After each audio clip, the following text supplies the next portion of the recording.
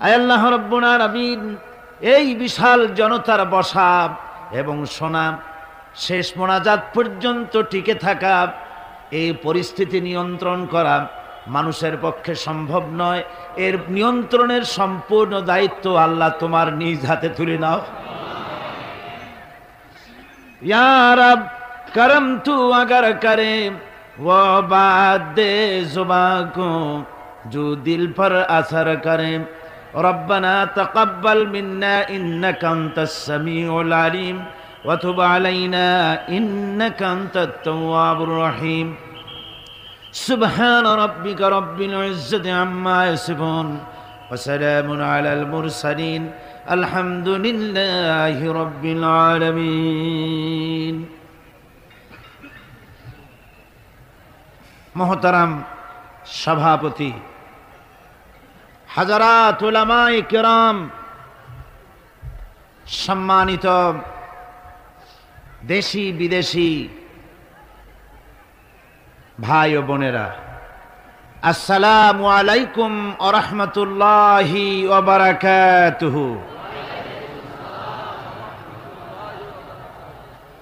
আমরা সর্বপ্রথম ওই মহান আল্লাহ সুবহানহু ওয়া তাআলার দরবারে অত্যন্ত বিনীতভাবে হৃদয়ের সবটুকুন শ্রদ্ধা উজাড় করে শকর জ্ঞাপন করছি যে মহান আল্লাহ তাবারক তাআলা আজকের চট্টগ্রামের এই এলাকাকে বিশাল জনসমুদ্রে পরিণত করে দিয়েছেন। কোরআনে করিম শোনার জন্যে কোরআন পাগল মানুষদেরকে আল্লাহ পাক এখানে হাজির করে দিয়েছেন। সেই মহান মনিবের দরবারে বিনীতভাবে শুক্রিয়া আদায় করছি, আলহামদুলিল্লাহ। জোরে সোরে মোহব্বতের সাথে সবাই পড়েন, আলহামদুলিল্লাহ। আমার বন্ধুগণ, কোরআনে হাকিম, আল্লাহ রব্বুল আলমিনের সর্বশ্রেষ্ঠ নিয়ামত বিশ্ববাসীর জন্য এবং রাসুলে করিম সাল্লাল্লাহু আলাইহি ওয়াসাল্লামের জীবনের সবচাইতে বড় মুআজিজা কোরআনে করিম। আপনি বলেন, এই বিশাল জনতাকে উপস্থিত করার জন্য সরকার হোক, বিরোধী দল হোক, এত বড় একটা সমাবেশ করার জন্য মানুষকে কত ভাড়া দেওয়া লাগতো আসার জন্য, খাবারের বন্দোবস্ত করা লাগতো, তারপরেও এভাবে নিজ দায়িত্বে নিয়ন্ত্রিত হয়ে কেউ বসতো না। কত অনুরোধ, বিনোরোধ করে বসাতে, বসানোর জন্য চেষ্টা চালানো হয়, কত পুলিশের দরকার হয়। অথচ কই, কোনো পুলিশ, কোনো স্বেচ্ছাসেবক এসে কাউকে অনুরোধ করছে না। কাউকে রিক্সার ভাড়া দেওয়া হয়নি, গাড়ির ভাড়া দেওয়া হয়নি। কোথার পটুয়াখালী থেকে লোক এসছে, বরিশাল থেকে লোক এসেছে, দিনাজপুর থেকে, রংপুর থেকে, ব্রাহ্মণবাড়িয়া থেকে, নোয়াখালী, কুমিল্লা শুধু বাংলাদেশ নয়, ভারত থেকেও, প্রতিবেশী ভারত থেকে আমাদের ভাইয়েরা সেখান থেকে সপরিবারে এ মাহফিলে এসেছে, আমাদের সঙ্গে দেখা করেছেন। সুতরাং এ মাহফিলের সবচাইতে বড় আকর্ষণ হচ্ছে কোরআনে করিম। সবচাইতে বড় আকর্ষণ কি? কোরআনে করিম জাল্লাহ পাকের শ্রেষ্ঠ নিয়ামত এবং রসুলে পাকের জীবনের সবচাইতে বড় মজা তার আরেকটি প্রমাণ আজকের এই বিশাল জনসমুদ্র, সুবাহানুল্লাহ ভাইয়ের আমার, কোরআনে করিম দুনিয়াবাসীদের জন্য বিপদ এবং মুসিবতের বোঝা নিয়ে আসেনি।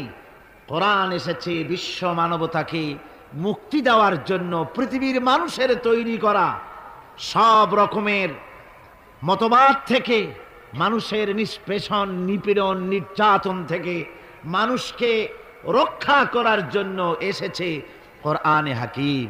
আমরা বুঝি নাই, সেই জন্য কোরআনের কাছে গিয়েছি, অনেক সময় ভুল করে কোরআনের কাছে শুধু তাবিজ আনার জন্যই কোরআনের কাছে গেছি, আর কখনো কোরআনের দ্বারস্থ তেমন একটা হই নাই। ঝাড়ের জন্য, ফুকের জন্যে, তাবিজের জন্য যতটা গিয়েছি, জীবন ব্যবস্থা, ভাগ্য পরিবর্তনের জন্য কোরআনের কাছে যদি ওরকম যেতাম, তো তকদির এতদিন আমাদের পাল্টে যেত, ঠিক কিনা কন? তাকদিরটা পাল্টে যেত। আমাদের অবস্থা হয়েছে, যখন ঘরে থেকে সোনাদানা চুরি হয়ে যায়, তখন লোকেরা ছুটে যায়, বলে, হুজুর, কোনো পীর সাহেব, কোনো মৌলানা সাহেব, কোনো ইমাম সাহেব কোনো একজন হুজুরের কাছে গিয়ে বলে, হুজুর, আমার তো সোনা দানা চুরি হয়ে গেছে। একটু মেহরবানি করে একটু চাউল পড়ে দেন। ভাবখানা এই যে কোরআনে কারিম বুঝি নাজিলি হয়েছে চাউল পড়ার জন্য। আল্লাহ একজেল কোরআন দিলেন, তিরিশ পারা কোরআন দিলেন, আর তার হাবিবকে বললেন যে, কোরআন দিলাম, শুধু চাল পড়বেন আর চোর ধরবেন। এই জন্য বুঝি কোরআন এসেছে, কি বলেন? এই জন্য এসেছে? এই জন্য কোরআন আসে না। কোরআন, চোর ধরতে আসে নাই। কোরআন চুরি বন্ধ করতে এসেছে সোহান আল্লাহ পড়েন। কোরআন ডাকাত ধরতে আসে নাই, ডাকাতি বন্ধ করার জন্য এসেছে। কোরআনে কারিম খুনিকে ধরতে আসে নাই, রক্তপাত চিরতরে বন্ধ করতে এসেছে কোরআন। সেই কোরআনের হেদায়াত যদি আমরা গ্রহণ করতে পারি, জীবনের সকল ক্ষেত্রে সুখ আসবে, সমৃদ্ধি আসবে, স্বাধীনতার গ্যারান্টি হবে। মানুষ নিরাপত্তাপূর্ণ জীবন ব্যবস্থা লাভ করতে পারবে, শোষণমুক্ত একটি পৃথিবী লাভ করবে মানুষ। যদি কোরআনের হেদায়ত অনুযায়ী যদি মানুষ তার জীবনকে পরিচালনা করে। আল্লাহ রব্বুর আলমিন এ কোরআন থেকে হেদায়ত গ্রহণের তৌফিক যেন আল্লাহ আমাদের দান করেন, আমরা সবাই বলি আমিন। জোরে সোরে বলেন আমিন। এখন আমি আপনাদের সামনে কালামুল্লাহ শরীফ থেকে আলোচনা করতে যাচ্ছি। আমি এবছর সুরায়া সফ থেকে আলোচনা করেছি। সেই প্রথম দিন, দ্বিতীয়, তৃতীয়, চতুর্থ দিন পর্যন্ত নেফাকের উপরে, খাতমে নবুয়তের উপরে ইমান বিল্লার উপরে রসুলের উপরে রেসালাতের উপরে আমরা গত চার দিন ধরে আলোচনা করেছি আজকে যেখান থেকে আলোচনা করব চলুন সেখান থেকে শুরু করি বিসমিল্লাহির রহমানির রহিম يا أيها الذين آمنوا هل أدلكم على تجارة تنجيكم من عذاب أليم. تؤمنون بالله ورسوله وتجاهدون في سبيل الله بأموالكم وأنفسكم. ذلكم خير لكم إن كنتم تعلمون. صدق الله العظيم. আল্লাহ সুবহান হুয়া তাআলা কোরআনে করিমের মধ্যে ঘোষণা করছেন, হে বিশ্বাসীরা, আমি কি তোমাদের কেমন একটি ব্যবসায়ের কথা বলব না, যে ব্যবসায় তোমাদেরকে জাহান নামের কঠিন শাস্তি থেকে রক্ষা করবে? অবশ্যই বলব। সেটা কি? সেটা হলো আমার সঙ্গে তোমাদের ব্যবসা করতে হবে। সেই ব্যবসাটার পুঁজি হলো তিনটা। পয়লা নম্বরের পুঁজি হলো ইমান বিল্লাহ, আল্লাহর প্রতি ইমান দুই নম্বরে রসুলের প্রতি ইমান তিন নম্বরে আজকে যেটা আলোচনা করা হবে সেটা হচ্ছে আল্লাহ এবং রসুলের মহব্বতে উদ্বুদ্ধ হয়ে আল্লাহর দিনকে প্রতিষ্ঠার জন্য জেহাদ করতে হবে কি করতে হবে وتجاهدون في سبيل الله بأموالكم وأنفسكم ذلكم خير لكم إن كنتم تعلمون আল্লাহ রাস্তায় জেহাদ করতে হবে মাল দিয়ে আর জান দিয়ে। দালিকুম খায়রুল্লাকুম এরই মধ্যে তোমাদের কল্যাণ নিহিত। ইনকুন্তুম তালামুন যদি তোমরা কোরআনে করিমকে, ইসলামের দাওয়াতকে, আল্লাহর উপর ইমান রসুলের উপরে ইমান এ কথাগুলি যদি তোমরা বুঝে থাকো, তাহলে এরই মধ্যে তোমাদের কল্যাণ নিহিত। আজকে আমরা আলোচনা করব জেহাদের উপরে। এই জেহাদকে ফার্স করা হয়েছে। জেহাদ সম্পর্কে আমাদের সামনে যে চিত্র ভেসে ওঠে জেহাদের কথা শুনলেই, সেটা হচ্ছে এই জেহাদ মানেই হচ্ছে হাতের কাছে যা পাও, দা, খন্তা, শাবল, তাই নিয়ে ঝাঁপায় পড়ো, আর কাফের যে জায়গায় পাও, টুকরা টুকরা করে শেষ করে দাও। এর নাম জেহাদ। এই কথা আমাদেরকে পাশ্চাত্যের লেখকরা, তারা এভাবে চিত্রিত করেছে ইসলামের জিহাদকে? এটাকেই ফার্সিতে বলা হয়েছে অলেকিন কালামদার কাফে দুশ্মন আছে। দুশ্মনের হাতে কলম ছিল, যেমন খুশি তেমন ইসলামের ইতিহাসকে তারা বিকৃত করেছে।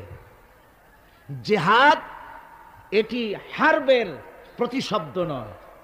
জেহাদ, এটি অর এর প্রতিশব্দ নয়। জেহাদ, এটি যুদ্ধের প্রতিশব্দ নয়। হারবুন মানে যুদ্ধ, ওয়ার মানে যুদ্ধ, আর আরবি জেহাদ মানে যুদ্ধ নয়। আরবিতে জেহাদের আবিধানিক এবং পারিভাষিক অর্থ হচ্ছে এই, ভালো করে বুঝুন, জেহাদ শব্দের আবিধানিক এবং পারিভাষিক অর্থ হচ্ছে এই যে যে কোনো উদ্দেশ্যকে সফলতার শীর্ষে পৌঁছে দেওয়ার জন্যে যে প্রাণান্তকার প্রচেষ্টা চালানো হয়, ওই প্রচেষ্টার আরবি নাম হচ্ছে জেহাদ। এ আরবি নামটি কি? জেহাদ। আমি আল্লাহর দিন কায়েম করতে চাই, এজন্য যে আমার আল্লাহ পাক আমাকে যদি শক্তি দিয়ে থাকেন, অর্থ খরচ করা, আমার যদি টাকা করি থাকে, এই রাস্তায় টাকা খরচ করা হচ্ছে আমার মালি জেহাদ। এই রাস্তায় যদি আমি বক্তব্য রাখতে পারি, তো আমি যদি বলিষ্ঠ কণ্ঠে আল্লাহ দিন কায়েমের সংগ্রামের পথে যদি কথা বলতে পারি, এটা আমার বক্তব্যের জেহাদ।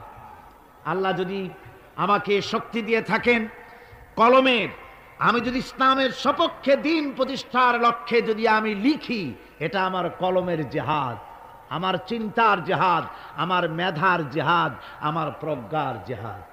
সর্বশেষ যদি এই আন্দোলনকে পরিচালিত করতে গিয়ে যদি সশস্ত্র হামলার মোকাবেলা করতে হয়, তাহলে সশস্ত্রভাবেই মোকাবেলা করাটাই হচ্ছে জেহাদের চূড়ান্ত রূপ।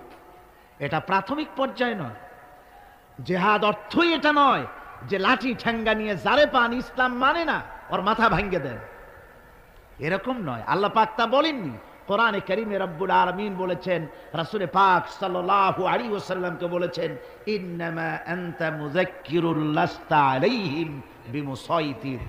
হাবিব, আপনি একজন উপদেশক।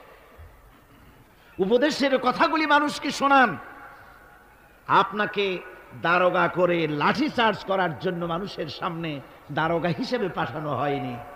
মানুষকে হেদায়েতের বাণী শোনা আল্লাহ এই ব্যবস্থা করেননি কোরআনে কারিমে জামা আর কালেমা যারা মানবে না, কোরআন মানবে না।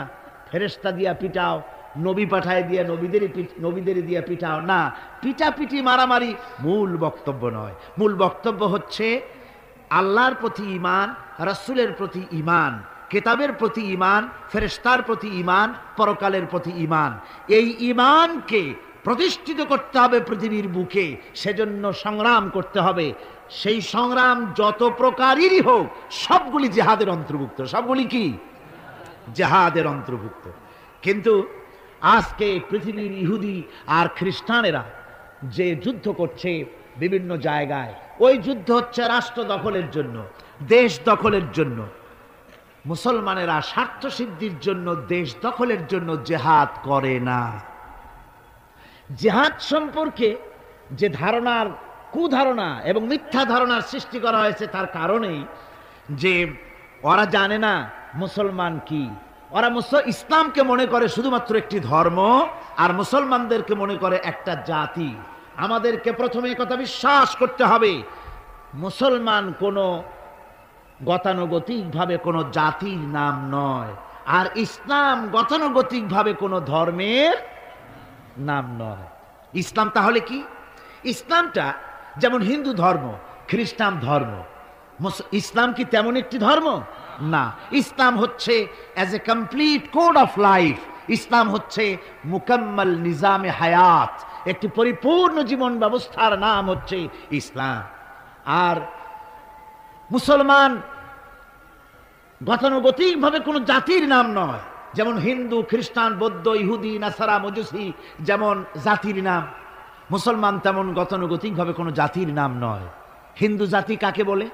তো বলা হবে, বারো মাসে যারা তেরো পূজা করে, ওরাই হচ্ছে হিন্দু জাতি। খ্রিস্টান কাদের বলে? যারা রবিবার দিন গির্জায় যায়, তাদেরকে বলা হয় খ্রিস্টান জাতি। তো ইহুদি কারে বলে?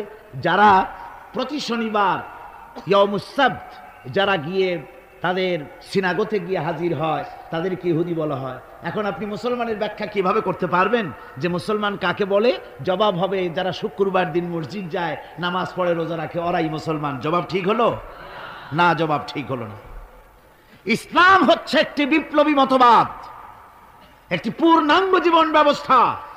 আর এই জীবন ব্যবস্থাকে যারা দুনিয়ার বুকে প্রতিষ্ঠিত করতে চায়, সেই রেভলিউশনারি পার্টির নাম হচ্ছে ইসলাম মুসলমান। সেই দলের নাম কি? মুসলমান।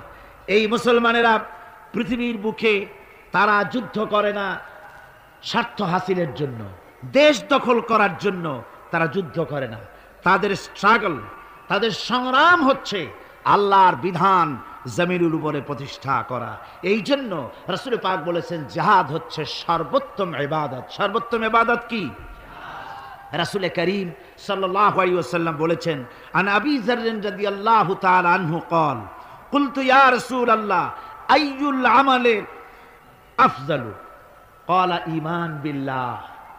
আমি জিজ্ঞেস করলাম রসুলকে হজরতে আবুজার রদি আল্লাহ তালু বলছেন, আমি রসুলকে জিজ্ঞেস করলাম, হে আল্লাহ রসুল, সবচাইতে উৎকৃষ্ট আমল কোনটি? কোনটি? হুজুর বললেন, আল্লাহর প্রতি ইমান আর তারপরে হচ্ছে ওয়াল জিহাদু ফি সাবিলিল্লাহ, রাওয়াহু মুত্তাফাকুন আলাইহি। হুজুর সাল্লাল্লাহু বলছেন, আল্লাহর প্রতি ঈমানের পরে আল্লাহর রাস্তায় জিহাদ করা হচ্ছে সর্বোত্তম ইবাদত। এই জিহাদ, এই জেহাদের উদ্দেশ্য হবে মানব সমাজে আল্লাহর আইন প্রতিষ্ঠিত করা। যেহেতু আল্লাহর আইন প্রতিষ্ঠিত না হওয়া পর্যন্ত সমাজের মধ্যে অন্যায়, অসত্য চলতে থাকে। মানুষের উপর জুলম চলতে থাকে। এই জন্য জেহাদ হবে যত জায়গায় জেহাদের কথা আছে জেহাদ ফি সাবিলিল্লাহ বলা হয়েছে জেহাদ কার পথে আল্লাহর পথে আল্লাহ রাব্বুল আলামিন কোরআনে করিমের মধ্যে বলেছেন الذين آمنوا يقاتلون في سبيل الله যারা নাকি ইমানদার যারা মোমেন তারা সংগ্রাম করে তারা লড়াই করে আমি আল্লাহর পথে আমার দিন প্রতিষ্ঠার জন্যই তারা লড়াই করে এরা হলো মোমেনের এটাই পরিচয় আমার বিধানকে প্রতিষ্ঠা করার জন্য তারা সংগ্রাম করে والذين كفروا يقاتلون في سبيل الطاغوت আর যারা নাকি কাফের যারা মহাসত্যকে অস্বীকার করেছে, কেবলমাত্র ওরাই তাগুতের মতবাদকে প্রতিষ্ঠিত করার জন্য তারা সংগ্রাম চালায়। তাহলে মোমেন সংগ্রাম করে কার পথে? আল্লাহর পথে। আর কাফের সংগ্রাম করে কার পথে? তাগুতের পথে। তাগুত কাকে বলা হয়? তাগুত বলা হয় সেই শক্তিকে যে শক্তি শুধু নিজেই আল্লাহর আইন অমান্য করে বসে থাকে না বরং অন্যদেরকেও আল্লাহর আইন অমান্য করতে বাধ্য করে। তাকে আরবিতে কি বলা হয়? তাগুত বলা হয়। এই জন্য নদীর মধ্যে পানি যখন প্রবাহিত হয়, নদীর দুইটা কুল আছে। কয়টা কুল? এই দুই কুলের সীমারেখা ঠিক রেখে পানি যদি প্রবাহিত হয়, তখন বলা হয় যে পানি নদীর আইন কানুন মেনে চলছে। কিন্তু যখন দুকুল ছেপে পানি প্লাবিত হয়ে জনপদকে ডুবিয়ে দেয়, তখন আরবিতে বলা হয় তগাল বাহার। অর্থাৎ সমুদ্রের মধ্যে দরিয়ার ভিতরে সীমা লঙ্ঘনকারী শক্তির সৃষ্টি হয়েছে দেখুন হজরত মুসা আলাইহিস সালামকে আল্লাহ রব্বুল আলামিন তাকে বলছেন اذهب إلى فرعون إنه طغى ফেরাউন সার্কাস হয়েছে সীমা লঙ্ঘন করেছে ওর বিরুদ্ধে, ওর কাছে তুমি চলে যাও, ওকে তুমি দিনের দাওয়াত ওর সামনে গিয়ে পেশ করো। তো এভাবে করে দিনের দাওয়াত দেওয়ার জন্য তাগুতরা চিরকাল বাধা দিয়েছে। আর মোমেন ব্যক্তিরা আল্লাহর দিনকে প্রতিষ্ঠার জন্যে সংগ্রাম করেছে। তাই জাহাদ এজন্য নয় যে খোদাদ্রোহীকে উৎখাত করে সেখানে নিজেরা গদি দখল করে বসে নিজেদের মন গড়া আইন ও কানুন চালাবো, এজন্য কিন্তু এই যুদ্ধ নয়, এই জেহাদ নয়। এ জেহাদের, এ জেহাদকে এই জন্যই সর্বোত্তম আবাদত করা হয়েছে, যেহেতু এই জেহাদ করে মানুষের উপর থেকে মানুষের প্রভুত্ব খতম করার জন্যই এই জেহাদ হবে। ইসলামের সর্বশ্রেষ্ঠ বিপ্লবী আহ্বান, এই কোরআনের মধ্যে যে বিপ্লবী আহ্বান জানানো হয়েছে সে বিপ্লবী আহ্বান মুসলমানদের জন্য শুধু নয়, গোটা বিশ্ববাসীর জন্য। জেহাদটা কি জন্য শুনুন? কোরআনে কারিমের রব্বুল আলামিন যে আহ্বান জানিয়েছেন তাম পৃথিবীর মানুষদেরকে সে আহ্বান হচ্ছে। ইয়া আইয়ুহান নাসু উবুদু রাব্বাকুমুল্লাযী খালাকাকুম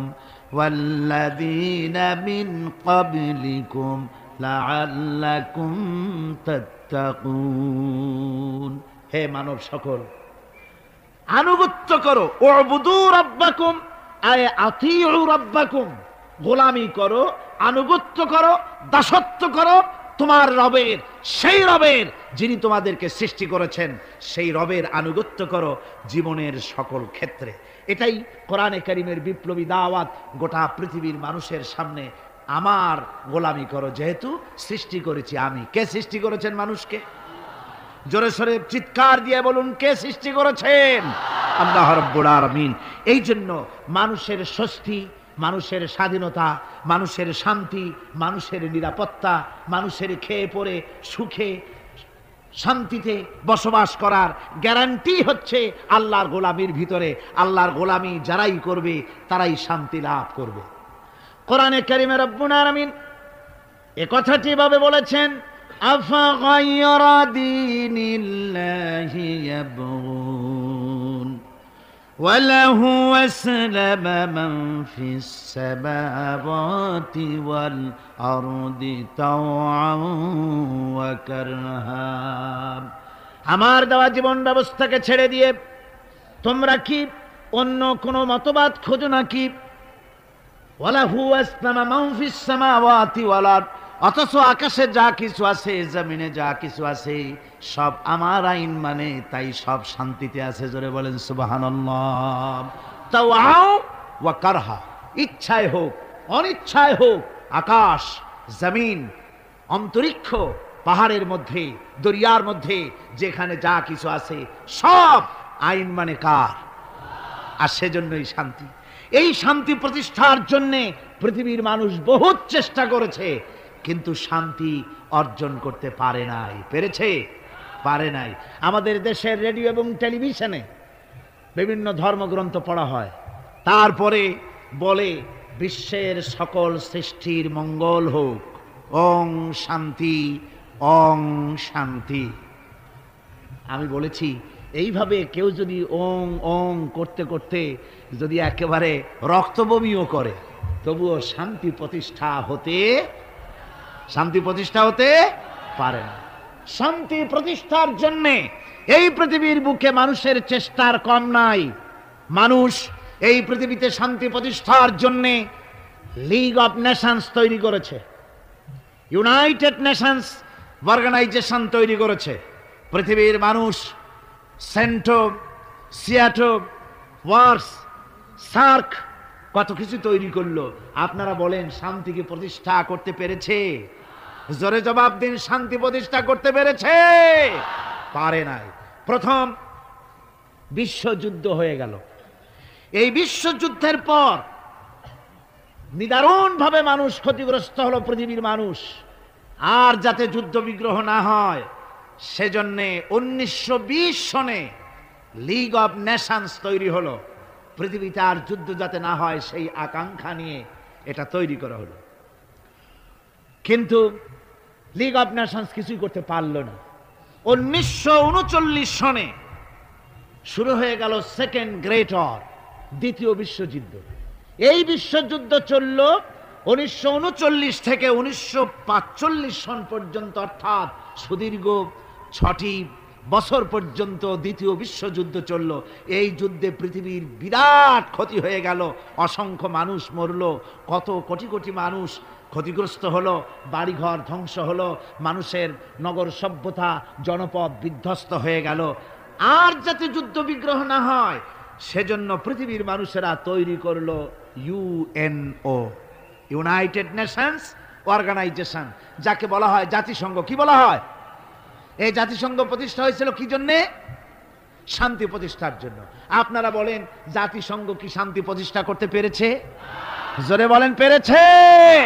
পারে নাই। জাতিসংঘ হচ্ছে আজকের পৃথিবীর আমেরিকার একটা হাতের পুতুল। পুতুল নাচ যারা দেখেছেন, পুতুল যেমন মানুষের হাতে সুতা বাঁধা থাকে, আর তাই দিয়া পুতুলের নাচায়। জাতিসংঘকে ভাবে আমেরিকা নাচায়। তাই আমরা দেখতে পাই ইসরায়েল যদি জাতিসংঘের কোন আইনকে, উপদেশকে, সাজেশনকে, কোন বিধিবিধানকে লঙ্ঘন করে, তাহলে ইসরায়েলের উপর অ্যাকশন নেওয়া হয় না। এর আগ যদি জাতিসংঘের কিছু কিছু একটা কিছু করল, তাহলেই সমস্ত বিমান নিয়ে আর তার নৌজাহাজ নিয়ে সমানে হামলা শুরু হয়ে যায়। অর্থাৎ আমেরিকা যতটুকুন বলবে ততটুকুনি অগ্রসর হবে। যতটুকুন বলবে না, ততটুকুন অগ্রসর হতে পারবে না। আমি দৃষ্টান্ত দিয়ে থাকি জাতিসংঘের এভাবে। জাতিসংঘের দৃষ্টান্তটা এমন যে এক লোক তার বন্ধুর বাড়িতে আগুন লেগেছিল। তারপর সেই বন্ধু চিৎকার মেলতে বলছে, ভাইরা, আমার বাড়ি তো আগুন লেগে গেল। ও আমার বন্ধুরা, আমার প্রতিবেশী তোমরা যারা আছো, তোমাদের হাতের কাছে যা আছে তাই নিয়ে আমার বাড়ির আগুন নিবায় দাও।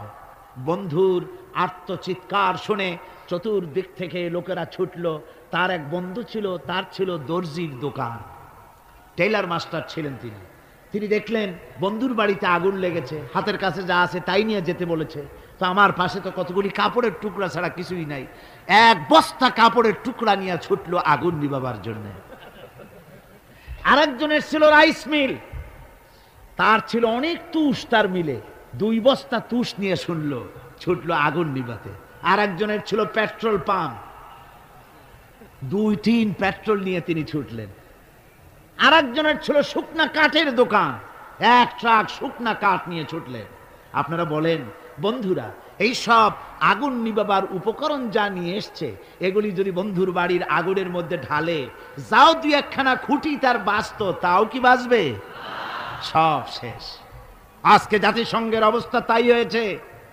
জাতিসংঘ যেখানে, জাতিসংঘের বিল্ডিংটি, এখানে এর কাছেই আমি প্রোগ্রাম করেছি।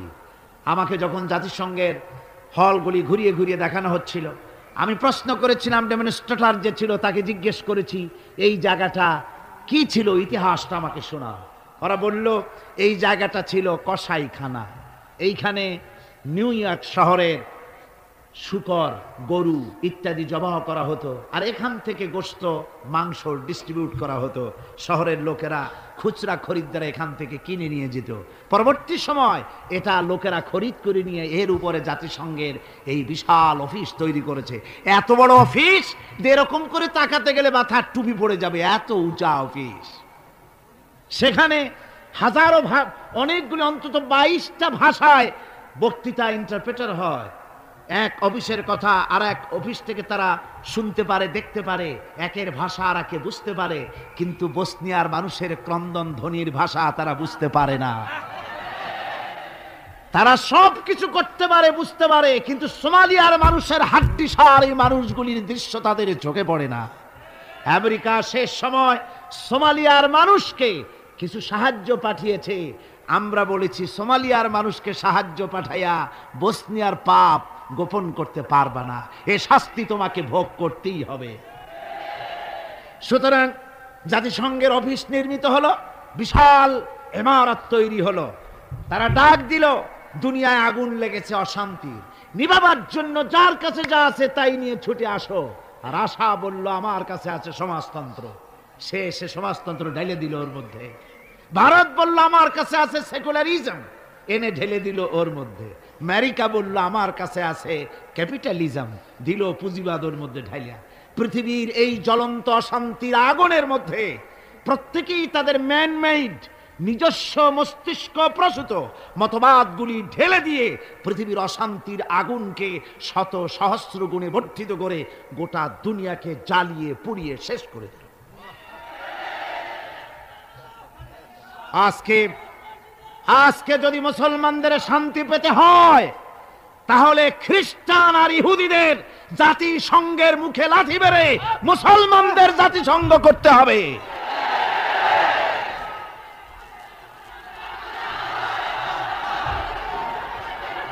আমার বন্ধুগণ, আজকে দুনিয়ায় শান্তি প্রতিষ্ঠার জন্যে, শান্তি প্রতিষ্ঠার জন্যে সার্ক তৈরি হলো। এই সার্ক, এখন আর সার্ক নাই, এটা সার্ক হয়ে গিয়েছে। সার্ক মানে বোঝেন তো? হাঙ্গর হাঙ্গরের রূপ গ্রহণ করেছে। এই সাতটি দেশের সাত প্রেসিডেন্ট যখন এক জায়গায় বসতেন, রেডিও টিভিতে পত্র পত্রিকায় ছবি দেখে আমার কোরআনে করিমের ওই আয়াত মনে পড়ত, তাহসাবুহুম জামিআন। সাত্তা দেখতে দেখা যায়, সত্যিই যেন কত মিল, একই বৃন্তের সাতটা ফুল। আসলে তাদের অন্তর একের থেকে আরাকের অন্তর যোজন যোজন দূরে। আমাদেরকে ওরা এত ভালোবাসে, সে কথা পরেই বলব। তো বিশ্ব শান্তি মানুষ প্রতিষ্ঠা করতে পারবে না। বিশ্ব শান্তি প্রতিষ্ঠার জন্য আল্লাহ রব্বুল আলামিন স্থায়ী পরিকল্পনা দান করেছেন রব্বুল আলামিন, বলেছেন, তাআলাউ ইলা কালিমাতিন সাওয়াইম বাইনানা ওয়া বাইনাকুম আল্লা না'বুদা ইল্লাল্লাহ।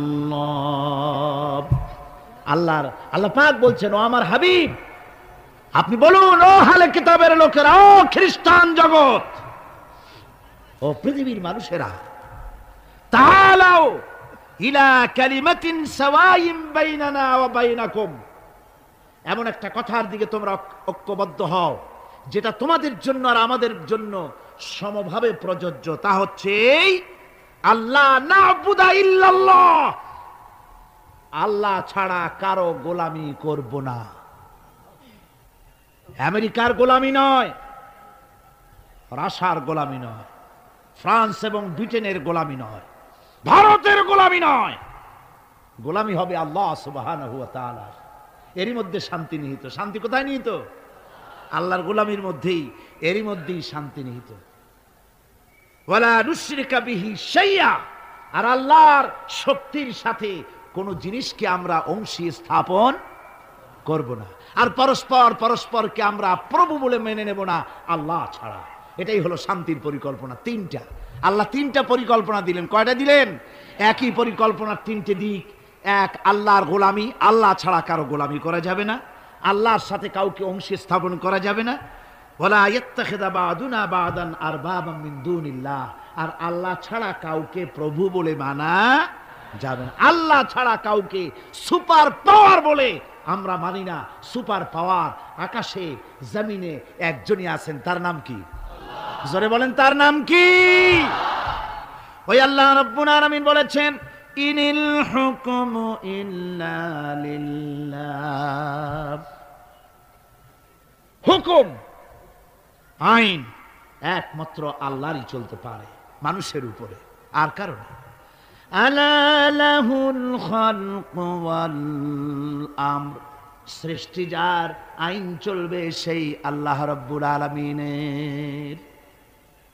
মানুষের, এই কথা কেন আমাদের মাথার মধ্যে ঢোকে না? আমাদের মাথার মধ্যে এই কথা আসা দরকার। এই পৃথিবীতে কই?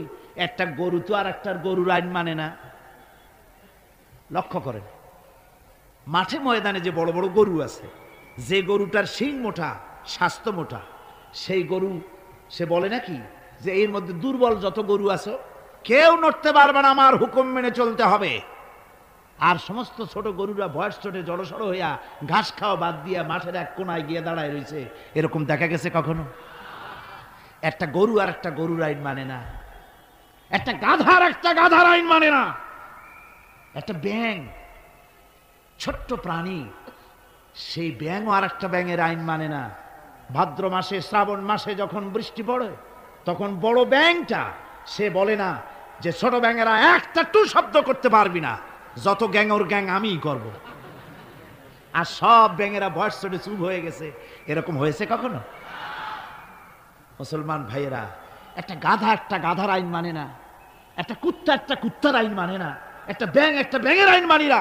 তুমি মানুষ হয়ে আর একটা মানুষের তৈরি করা আইনের সামনে। কি করে মাথা নত করো? এটা শিরকুন আজিম।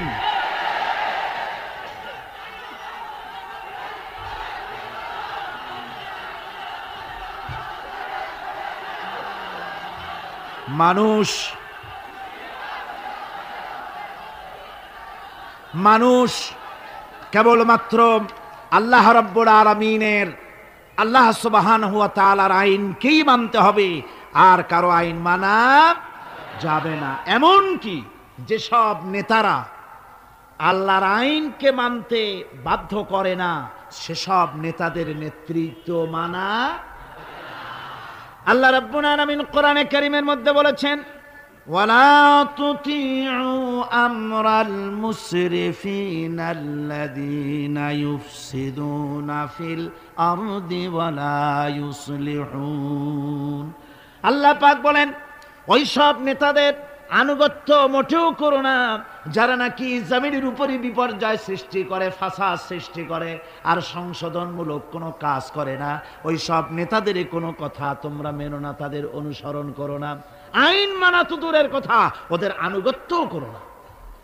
আল্লাহ পাক আরও বলেছেন, আলা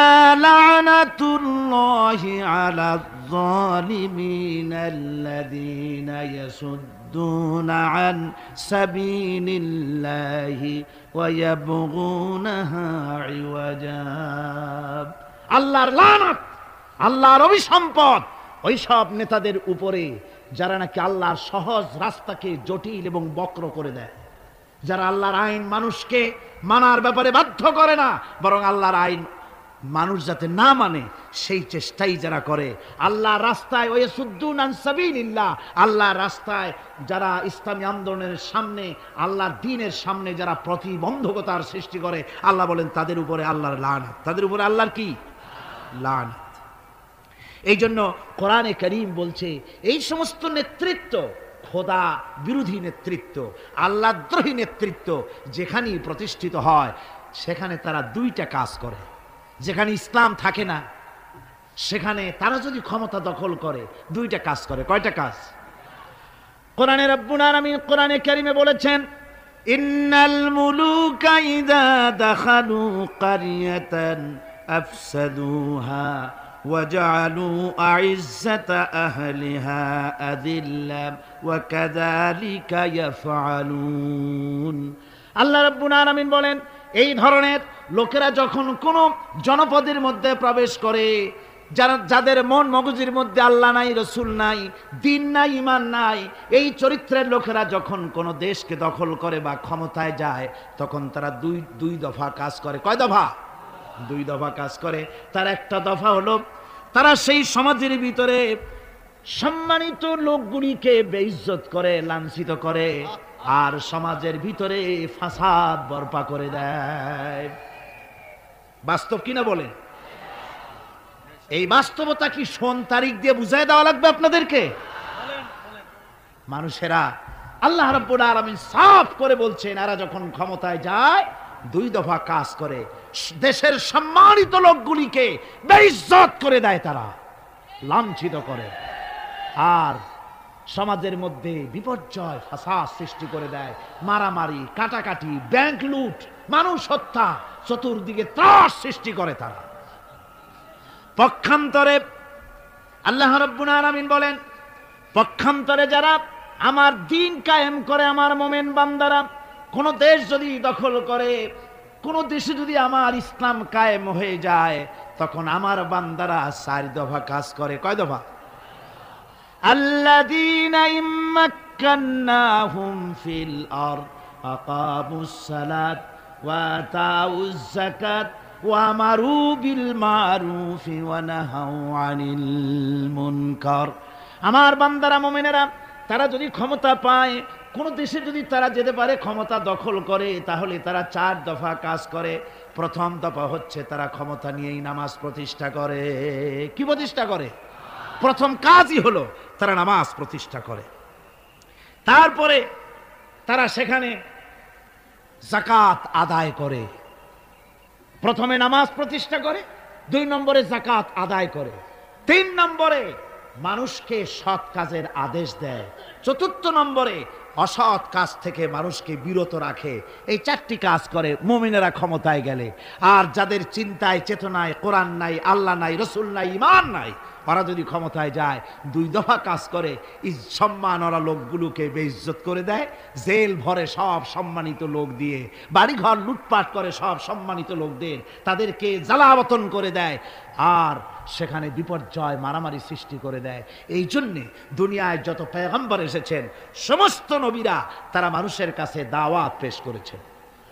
আল্লাহ রাব্বুল আলামিন বলেন, নবীরা দাওয়াত দিয়েছেন ইয়া কাউমি ইবুদুল্লাহ মা লাকুম মিন ইলাহিন গায়রু আল্লাহ রাব্বুল আলামিন বলেন, নবীরা যখন দুনিয়া যে নবী এসেছেন, মানুষকে দাওয়াত দিয়েছেন, ইয়া কওমি, হে আমার জাতি, হে আমার সম্প্রদায়, এক আল্লাহর গোলামি করো, তিনি ছাড়া তোমাদের কোনো প্রভু নাই আইন দাতা নাই বিধান দাতা নাই, তার আনুগত্য করো জীবনের সকল ক্ষেত্রে। কোরআনে কারিমে মুসলমানদেরকে বলা হয়েছে হেজবুল্লাহ। মুসলমানদেরকে কি বলা হয়েছে? হেজবুল্লাহ। হেজবুল্লাহ মানে কি? আল্লাহর সৈনিক। এই আল্লাহর সৈনিকদের, তাদেরকে আল্লাহ পাক এই পৃথিবীতে তাদের অস্তিত্ব প্রতিষ্ঠিত করেছেন কি কারণে? তার কারণ হচ্ছে রব্বুল আলামিন বলেছেন, কুনতুম খায়রা উম্মাতিন উখরিজাত লিন-নাসি তা'মুরুনা বিল মা'রুফি ওয়া তানহাউনা 'আনিল মুনকার কুনতুম খায়রা উম্মাতিন তোমরা এই শ্রেষ্ঠতম জাতি, শ্রেষ্ঠতম দল, মানুষের কল্যাণের জন্য তোমাদেরকে পৃথিবীতে প্রেরণ করা হয়েছে। কাজ কি? তামরুন বিল মারুফ। মানুষকে ভালো কাজের জন্য উৎসাহিত করো, ভালো কাজের আদেশ দাও। অতান হৌন আনিল মুনকার। আর সমস্ত খারাপ কাজ থেকে মানুষকে ফিরায় রাখো। সুতরাং এই পৃথিবীতে, পৃথিবী থেকে জুলম, শোষণ, অশান্তি, বিপর্যয় বিপর্যয়, দুঃখ, তারপরে যুদ্ধ, বিগ্রহ সব কিছুর বিরুদ্ধে মুসলমানদেরকে ঐক্যবদ্ধভাবে লড়াইয়ের ময়দানে আসতে হবে। কোরআনে কারিমে রব্বুল আলামিন এ কথা এভাবে বলেছেন ওয়াকাতিলুহুম হাত্তা লা তাকুনা ফিতনাতুন ويكون الدين كله لله আল্লাহ রাব্বুল আলামিন বলেন সংগ্রাম করব লড়াই করব ততক্ষণ পর্যন্ত যতক্ষণ না আমার দিন প্রতিষ্ঠিত হয়ে যায় আর মানুষের তৈরি করা মতবাদের শেষ শিকড়টুকুনো যতক্ষণ মূলোৎপাটিত না হয়, ততক্ষণ পর্যন্ত আমার দিন প্রতিষ্ঠার জন্য লড়াই করো। ও মুসলমানেরা, যারা মুসলমান, এই লড়াই, এই জেহাদের দায়িত্ব যদি গ্রহণ না করে মুসলমানেরা যদি ইমানের এই দায়িত্ব কবুল না করে, আল্লাহর দিন প্রতিষ্ঠার জন্য যদি সংগ্রাম না করে, রব্বুল আলমিন বলেন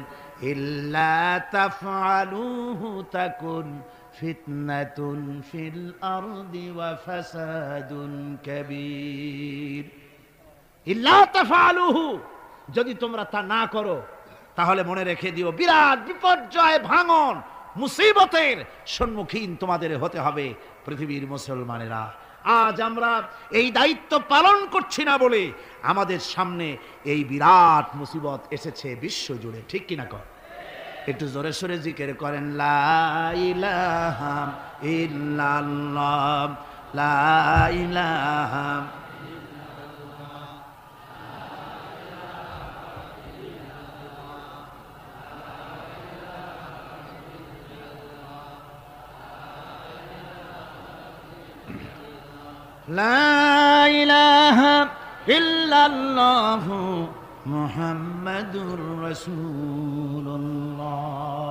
আমার এতক্ষণের আলোচনার দ্বারা এ কথা আমার মনে হয় আপনারা বুঝতে পেরেছেন যে অনইসলামিক শাসন ব্যবস্থার মূলোৎপাটন করে সেখানে ইসলামী রাষ্ট্র প্রতিষ্ঠা করাটাই হলো মুসলমানদের সবচেয়ে বড় দায়িত্ব। আর এটাই হলো জেহাদের মূল উদ্দেশ্য। কথা বুঝতে পেরেছে জেহাদের উদ্দেশ্য কোনো দেশ দখল করে সেখানকার প্রেসিডেন্ট আমরা হব, সেখানের মাল, সম্পদ লুটপাট করে নেব, এটা জেহাদের উদ্দেশ্য নয়। জেহাদের উদ্দেশ্যই হলো মানুষের তৈরি করা মতবাদ উৎখাত করে, আল্লাহর দিন প্রতিষ্ঠিত করা, এটাই হলো জেহাদের মূল উদ্দেশ্য। আর এই উদ্দেশ্য নিয়ে পৃথিবীর মানুষ যেখানেই মুসিবতে আছে যে জায়গায় বিপদে আছে, যে জায়গায় কষ্টে আছে, সেখানেই মুসলমানদেরকে ঝাঁপিয়ে পড়তে হবে। রসুল্লাহ বলেছেন, পৃথিবীর সমস্ত মুসলমানেরা হচ্ছে একটা বডির মতো। মুসলমান কি? একটা শরীরের মতো। তার পায়ের তলায় কাটা ফুটলে মাথায় খবর হয়, মাথায় কাটা ফুটলে পায়ের তলায় খবর হয়। কিন্তু পায়ের তলায় কাটা ফুটলে যদি মাথায় টেন না পায়, মাথার চুল ধরে টানলে যদি পায়ে টেন না পায়, তাহলে কি হয়েছে লোকটি? জি, প্যারালাইসিস হয়ে গেছে পক্ষাঘাত হয়ে গেছে আমার মুসলমান ভাইয়েরা, বসনিয়ার মুসলমানদেরকে মারা হচ্ছে, বসনিয়ার নারীদেরকে ধর্ষণ করা হচ্ছে, কষি কষি মাসুম বেগুনা বাচ্চাদেরকে জবাও করা হচ্ছে। ওই খবর শুনে যদি আমার কলিজা না কান্দে, কাশ্মীরের মুসলমানদের মসজিদের ভেতরে ভারতের কাফির সৈন্যরা গুলি করে পাখির মতো মুসল্লি, নামাজরত মুসল্লি গুলিকে পাখির মতো শিকার করে দিতেছে, দুনিয়া থেকে বিদায় করে দিতেছে। এ খবর শোনার পর মুসলমানদের করি যায় যদি আগুন না লাগে, তাহলে মনে করতে হবে ইমানে প্যারালাইসিস হয়ে গেছে। ইমানটাই প্যারালাইসিস হয়ে গেছে।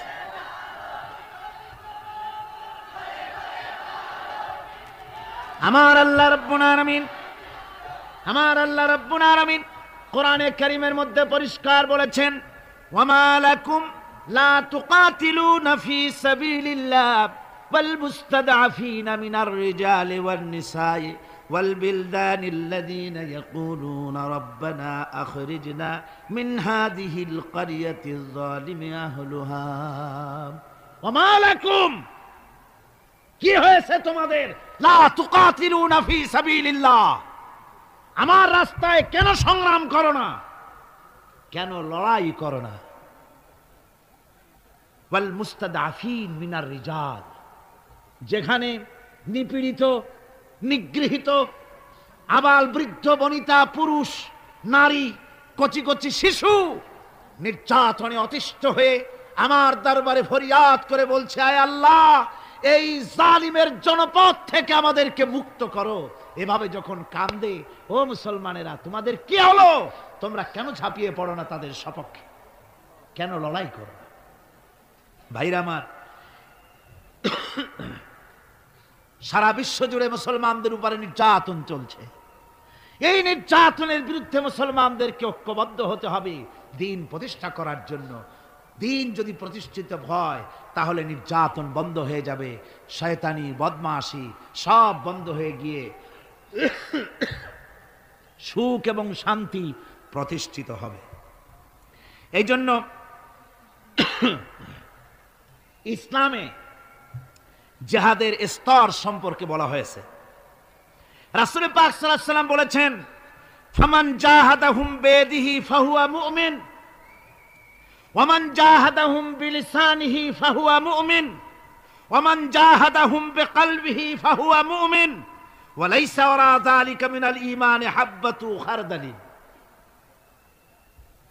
মুসলিম শরীফের হাদিস।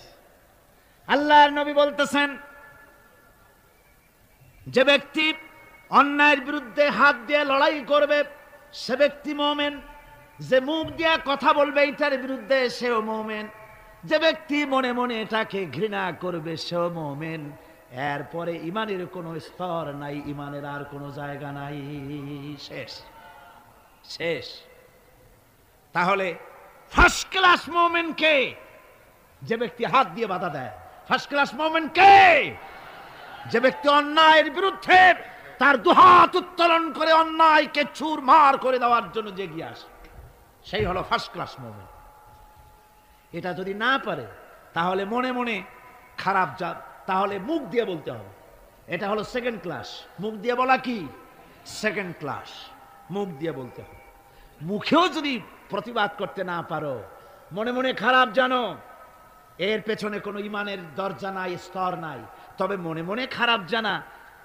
আর খারাপ জানার অর্থ কি? মনে মনে খারাপ জেনে এই পরিস্থিতির কেমন করে পরিবর্তন আসতে পারে, সেই চিন্তা, ভাবনা, দরদ যদি কলিজায় না থাকে তো ইমানের খাতায় নামটাও থাকবে না।